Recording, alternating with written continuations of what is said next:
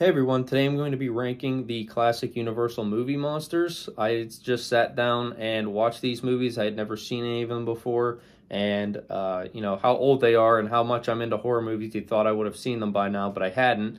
And so I was really interested in getting to watch these. Um, I'm going to be ranking the movies more the monster, more so than the monsters themselves. But I will cover, you know, what I did like about the monsters and uh, what I liked and didn't like so much about the movie. So, um, if you're like me and you hadn't seen these before, I will be talking spoilers since these movies are so old. You know, most people that have, you know, seen or you know, most people know about these movies by now. So, um, we're gonna get start off with my least favorite here, which is the Wolfman. Um, wasn't so much a bad movie. I just kind of felt it was the least interesting overall to me. Um, there were a few things I did like. I like Claude Rains is of all these movies, he was my favorite actor in all of them, um, and he is in this movie playing the father of the character who is the Wolfman. And uh, we also have Bela Lugosi in it for a very short time. He was the one who played Dracula, and um, what roles they played, they did really good. But I was hoping maybe one of them was was going to play the Wolfman when it was actually someone else. Um, he did a good job too. Uh, so it, it was interesting to see Claude Rains and Bela Lugosi play good characters instead of uh, the, the main villain, which they usually do play. Um, and I did kind of like in this movie how the Wolfman eventually was defeated. There was early on in the movie there was a cane that uh, the guy bought, and uh, his name was Larry, and he's the one that turns on the Wolfman. And Larry buys this cane and it's got the symbol of the wolf on it, and uh, it's it's got a wolf on like the top of the cane. And later on in the movie, uh, his father beats him to death with it, and I thought that was kind of interesting that the thing that he bought and he had earlier killed the original wolf that had turned him into, uh, you know, a werewolf. Uh, he gets killed with the same thing himself, and Bela Lugosi is the original like werewolf in this movie, but it's like clearly just a dog. So you never actually see him transform. Whereas you see Larry turn into the werewolf kind of slowly, just like they they have a picture of like, you know, him getting hairier and hairier, and then eventually he's like dressed like a werewolf. Um, for the time, I thought that was fine. Uh, you know, it's like 1940 or something like that. So um, the the only things I can I say I didn't really like was I found it kind of almost unbelievable how his him and his love interest get together. It's really creepy. So like he goes into the store. He, first he he sees this woman like changing through his like telescope or something, and he's so interested in her. He goes to her like pawn shop and starts talking to her. But like the way he goes about doing it was like really creepy. And like he straight up tells her he's like yeah i was watching you through my telescope. And um yeah i, I don't know. It's just like he kept saying these really awkward like pickup lines. And it was just like i don't think that would have even worked back in 1940 like that was really just bad. But um other than that i mean yeah there wasn't anything i straight up disliked. I just kind of thought that the movie wasn't as interesting as some of the others.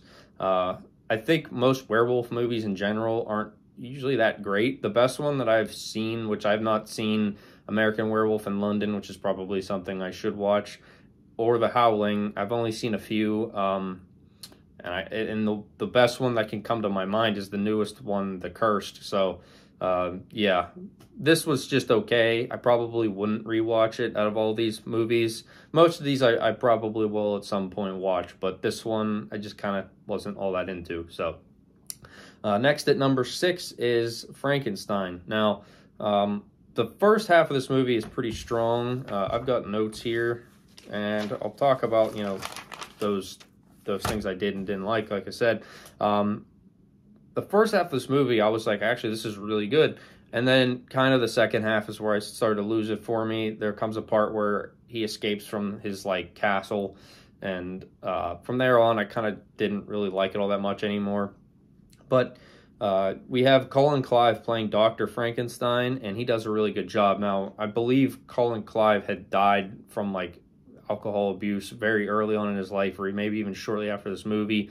I had watched uh, uh, Dead Meat's kill count of Frankenstein after uh, I watched the movie, and I'm pretty sure he said something like that where that he had died, and so that was interesting to find out. Um, but this is also where we find Boris Karloff, or his like you know very infamous role, or his most famous role, I guess I should say, when he plays Frankenstein or Frankenstein's monster. Uh, he does a great job, um, and you can really see how like that inspires other monster movies. Um, and then this is the movie that brings about the "It's alive" quote, um, which has been used for like many other movies and and just different pop culture. Like even Simpsons, I'm pretty sure did it. So um, the the quote I believe is "It's alive." Um, I know what it feels like to be God, or something like that. And I believe you know that back then that was probably like a really big deal, saying that he knows what it's like to be God or something. And so, uh, yeah, that probably back then that was like a really big thing saying that. And uh, the other scene that was probably a really big deal was whenever he Frankenstein's monster throws a little girl into the water and just she dies because she can't swim. And he doesn't mean to kill her. He just he sees her throwing flowers into the water and they're floating well he throws her into the water and she just sinks. It was just like oh um, I kind of had a feeling that's you know he was going to kill her on accident or maybe like the dad would come back and he would be there i wasn't expecting him to just be like here throw her into the water. But yeah um that was that was kind of one of the scenes. From there on i guess i should say is where i started to not like it. It wasn't like right after he left the castle but there's a scene where he sneaks into um, colin clive's character dr frankenstein uh, to see his like wife, and he like he just does some really weird like cat call to her. It just was strange. I don't know. And he kills like all these different people throughout the movie, and he doesn't kill her. That was a little bit. I, I get probably why they did it. You know, they wanted to have a happy ending. Um, the other thing is they have Frankenstein's name is Henry Frankenstein in this, but there is also a Victor in this movie. When in the book, his name is Victor Frankenstein. That was very strange. Um, the why they did that, I don't know. Just yeah, throughout the movie they kept calling him Henry. I was like, I thought his name was Victor, and then they called someone else Victor, and I was like, why'd they do that? Um, but not really a big deal. Um, the scene where Henry is thrown from the windmill, it was clearly just like a dummy. It it looked kind of bad. I mean, it's 1932 or whatever year this came out, so I I can't say it was like that, that probably looked good back then, but um, still, it was just like funny watching that in 4K. Now you're like, wow, that's clearly just like a doll or a mannequin. They're just like, oh, it has no like life to it whatsoever. Um, I just thought that was funny. Um, and then kind of the way that the movie just kind of like ends was just like it. It felt like I was like, oh, that's it. Um, so after the monster, Frankenstein's monster, burns to death in the uh, the windmill, uh, Dr. Frankenstein is taken to like a hospital. We never see him again, so that maybe makes me think that that is maybe the time of which uh, Colin Clive died or something. But yeah, like you just see his dad outside, and he's like he drinks with the bunch of like maids or something, and then the movie just sort of ends. I was like, oh, that's it. Um, you never really find out what happens with him or his bride. Like does he live? Does his, him and his bride both live, or do they both die, or you know what happens there? You don't really know. Um, but either way, um, there's still a, a, good movie, and I, I really like the opening and like the beginning of the movie a lot. Um, so as it went on, I guess that that second half of the movie it just kind of slowed down for me. That's all. Um, so next at number five is Dracula. Um, this is Bela Lugosi's most famous role, and you can really tell in this one where uh, they've taken inspiration from this movie and turned vampires and and just Dracula in general into like what they are now. Uh, I had watched the uh, newest like Netflix series Dracula like about a year ago, and you could tell just some of the influence from that. And they took that story and basically um, changed it a little bit, modernized it, and I thought it was pretty good that new series, uh, other than the last episode because it's only three episodes. But Um, the first two were really good, and you could see how they took inspiration from this movie.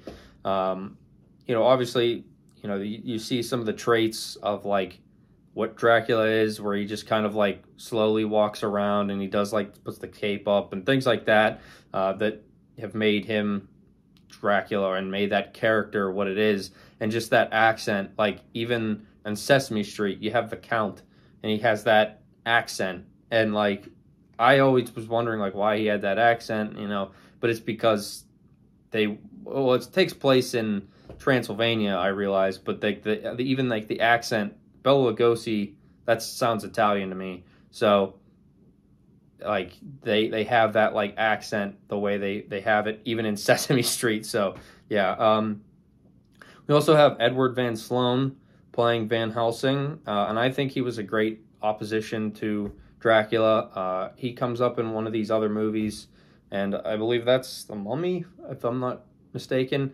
And uh, I think he was one of the better, if not the best, in all of these movies. Like, I guess, hero to the villain. And uh, this is probably the best where you have like a, uh, you know, like a, a villain. We have Dracula or an antagonist versus a protagonist in uh, Van Helsing, and I, would say it's probably my favorite like matchup in either or any of these movies. Um, and then we see like some of the set design of Dracula's castle was really nice, um, and there was a lot in this movie that I thought was was pretty good. Uh, I just thought really why it was this low was mainly because uh, it was a little bit slow paced throughout it, and it did keep my attention. I watched it straight through, no problem. None of these are very long, um, but this one also kind of had a, a little bit of an abrupt ending.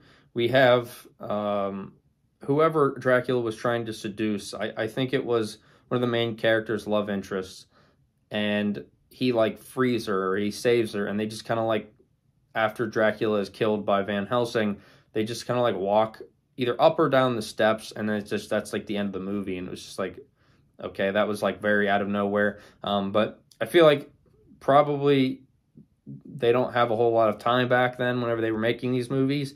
And so both Dracula and Frankenstein were the first two. So I'm assuming is like they don't have the either the money or the time or something to make these movies have like a very you know, I guess like fluent ending. And so they kind of just end, and you're like, oh, I wasn't expecting that. And uh, those are my really only two complaints, but this is a very good movie. And even from uh, Frankenstein to Dracula, I was like, you know, they're they're pretty even. It's just I think Dracula I enjoyed, you know, throughout it a little bit more. Where Frankenstein was early on, I was like, wow, I really actually like this, and it like my favorite scenes were in the first like thirty minutes of that movie. Where this was just throughout it, I was enjoying multiple different scenes. So. Um, next at number four, we actually have uh, the Mummy. This is uh, these are 4K. This is a Blu-ray. These other ones I couldn't find on 4K, so I just got them Blu-ray. But um, Boris Karloff in this plays the Mummy. I actually liked him a lot in this, probably more because he has like speaking roles and he plays um, more of like a villain. Where in that in Frankenstein, he's more of just a monster and he's kind of almost brainless. And how in that movie I did like how he became Frankenstein uh, I also like how he becomes the mummy in this. Um, so I think in that I actually I, I do like him more as the mummy, but I think he's much more iconic as Frankenstein. Uh, and one thing about the mummy is it almost makes me want to rewatch the one with Brendan Fraser because I thought that movie was okay whenever I was younger. I had originally seen like the third one first, and I thought it was terrible, the Tomb of the Dragon Emperor or something. And then I went back and watched one and two, and I was like, okay, they're much better, but still, I'm not like a big fan. I still like the original Mummy more than those ones, but uh, I can definitely see the influence, and like the story is pretty much taken straight from there, just again modernized and has some changes. Um, I like how in this, the Mummy was dug up in an archaeology dig or something, and um, there's some guy who like just insists that he has to continue on with this work, even though he's warned not to by um, Edward Van Sloan's character, and he you know, keeps going, and then the the mummy comes to life and kills him. Or no, he I think he just I don't think he kills him. I think he drives him to insanity or something, and then he eventually like kills himself or he dies of insanity or something. And it's like ten years later, and one of them has a son, and now he's like the main character, and his love interest is like been brainwashed almost by uh, the mummy because um, or hypnotized, I guess is a better word. And she reminds him of his original love, which was the reason he had been mummified in the first place. Was his love had died whenever they were very young, so he felt like he'd never had like a full life with her. And they believe in like a certain Egyptian god. Well, he uses like the powers of like the underworld or something to or a different evil god to like bring her back to life but the the ceremony was never completed and because of that he was found uh, to be like he's supposed to be executed due to like mummification or through mummification to um i guess punishment for his sins. And so he's mummified alive left in a coffin and then he comes back to life these years later which i thought was pretty cool. Um, and seeing him you know he's a uh, however many thousand years old um, he's now 10 years later he's kind of de-aged almost which was a little bit weird. He his skin was like super wrinkly and bandageable i guess he takes the bandages off and he's just he's still more wrinkled than you know like you would be if you were young. But um, I feel like they could have had him a little bit more as the mummy because for a lot of it, he's playing like a guy, his like his name, like his character's name in there. Um, I can't remember what it was and I didn't write it down, but um, yeah, he plays that character more than the mummy, which that was I would have liked more of the mummy, but I, I understand why they did it. Um, uh, like I said, Edward Van Sloan playing, you know, like the the opposition to the mummy was very good in this also. I, I do like him a little bit more in Dracula, but he was just as good in this. And um, and like I had mentioned, some of like the makeup was really good, like the, the wrinkles. But some of the scenes that were really cool is where they zoom in on his face and you just see his like eyes glowing and he's like memor or hypnotizing people. And um, that was pretty interesting. And like the scene where um, it's like him versus Edward Van Sloan, and he's like trying to hypnotize him. The same thing happens in Dracula actually, and it's it's probably better in Dracula, but it's I think creepier in here. So the only things I, I guess, like I said, I didn't get enough mummy in this movie, and then this is just a minor thing. I just don't like when dogs die in movies, and you don't see it, you just hear it. Um, but you know, that's that's really it. So um, next at number uh, three here, we have the creature from the Black Lagoon, or actually no, Phantom of the Opera. Um, this was the one with uh, uh, what's his name? Something uh, Claude Rains. I just a blank on his name. I knew it was a C. Um, this is the only one of these movies that's actually in color, which I thought was interesting. Um, I don't know if it was originally in, in, color. I assume it had to have been, but um, pretty good movie. Uh, it was a little bit too much I guess, opera for my liking. I realize it's the Phantom of the Opera, but the opera scenes were going on for quite a while, and that was really my only complaint about it. It was like we had like 10 minutes straight of opera while there's like nothing else going on, and I'm like, okay, like I know maybe you have to have opera in the Phantom of the Opera. I knew that going in, but it's like, okay, I'm sitting here for like 10 minutes and nothing else has happened. it's like, can we get to the phantom part of the opera. Um, but besides that, we have Claude Rains playing, I think it was Eric or Enrique, something like that. Uh, he does really good as the Phantom.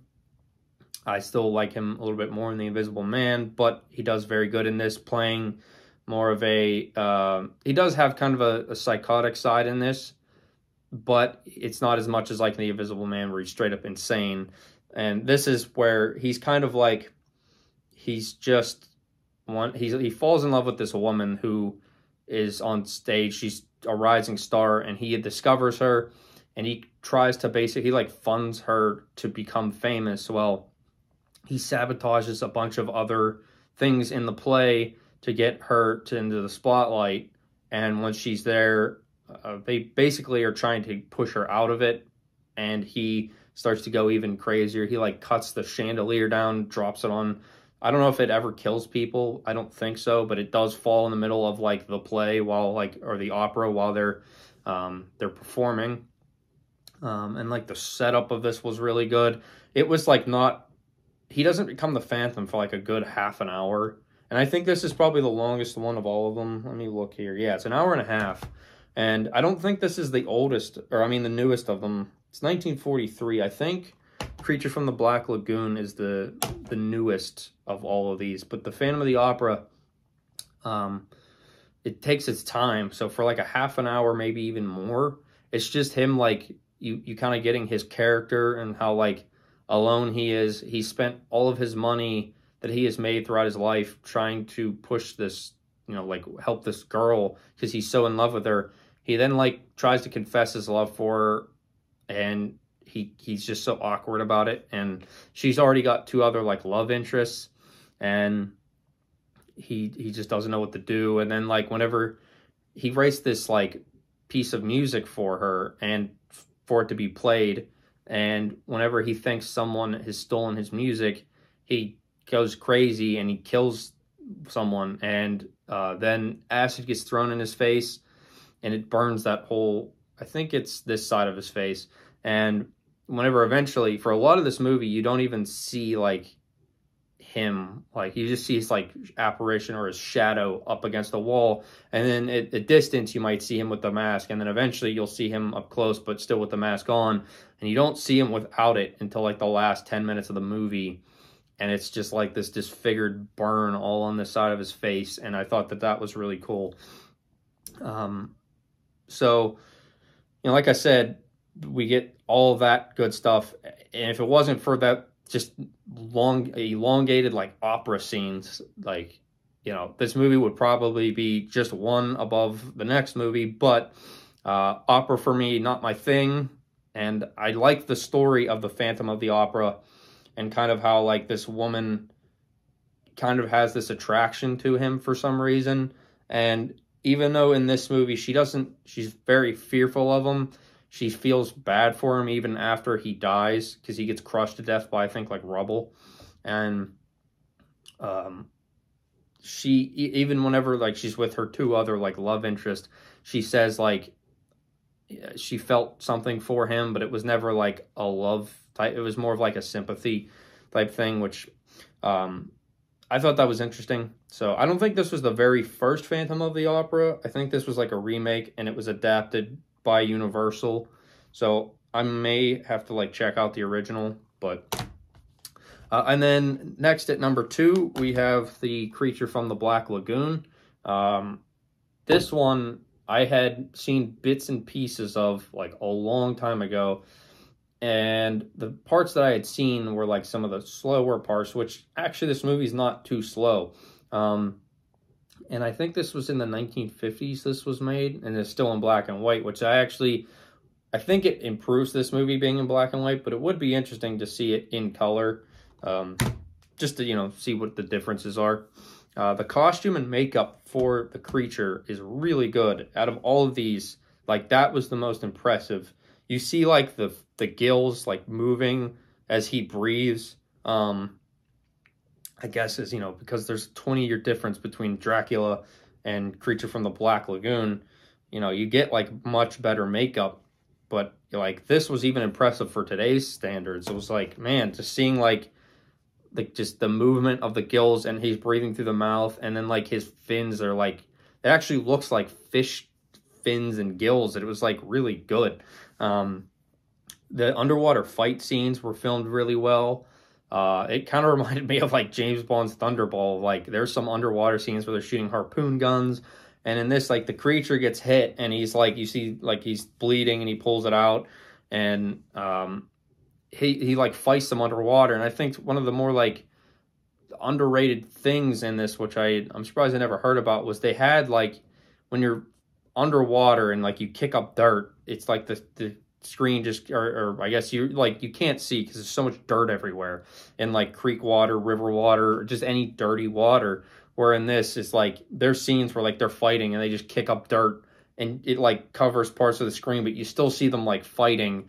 and and then he'd like he'd swim away and hide and be like hidden in seaweed by this just like you know floating dirt and i thought that was kind of interesting because that makes it believable why they couldn't see him um uh, also like the sounds that he makes it's just like very like fish monster like it's really interesting. It's like he's half mammal like half amphibian and like he's making these just like really disturbing like like fish breathing sounds as if it was trying to breathe on land and it was kind of cool. Um the only like minor thing i didn't really like was that they have every time that the creature is shown they have this like musical like sting or this intro or whatever and it was just used constantly that was the only thing it was like yeah i get it it's like a really good actual like song or, or like little thing that they have, but when they overdid it that much, like every time he's on screen, it's it's there, and it was like a little much. But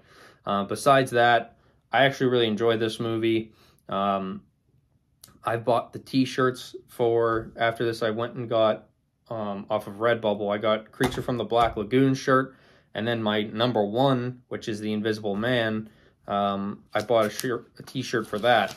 And so, like I said, my number one is The Invisible Man. And now I don't think this is the best of all these movies, but it's my personal favorite because of Claude Rains. And he inspired Mark Hamill's laugh as the Joker. His laugh in this movie is is like one of the best laughs I have ever heard. And I just, I've like listened to just like that scene where he just like laughs is straight up like it's enjoyable to just hear him just do this like evil maniacal laugh. I thought it was great. Um, and some of the special effects in this movie for 1933 where like they show him they've got like four different shots overlapped into one scene where like he's standing there and like his uh it, it's just like his robe and so they would have him in his robe and then they'd have him uh, they'd they'd like remove him, and then they'd have like the background with like him in a mirror, and then they have like they remove the mirror or they remove him in the mirror, but it would be like the way they did it to like have him invisible is like really interesting. Uh, again, I watched um, Dead Meat's kill count for this just to like get how they did that, and it was really interesting to hear that. Um, the costume design for the Invisible Man was really interesting. I really like this version. I did not like the like 2019 or 20 version with um I don't remember who's in it, but it's like the modernized version and I didn't like that movie at all. This one made me like really enjoy this this character um and like just the look of him down there like he's just bandaged up and he's got like glasses on so no one can see that there's nothing behind those those like holes and the bandages. And the scene where he's just like they want to see what's underneath there and like you just get a brief glimpse of it where like he's got no he's like eating but he's got no bandages from like here down.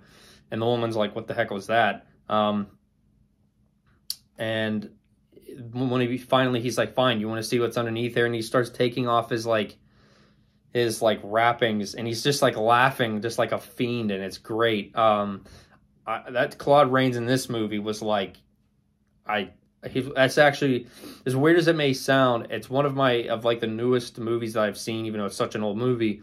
It's like one of the more memorable like performances. Just his just laughing and how crazy he is in this movie and the things that he does uh, as Jack Griffin and like how he becomes invisible, mixing chemicals with um, I think it's called like mitocane or melicane, something like that. I, I don't remember exactly.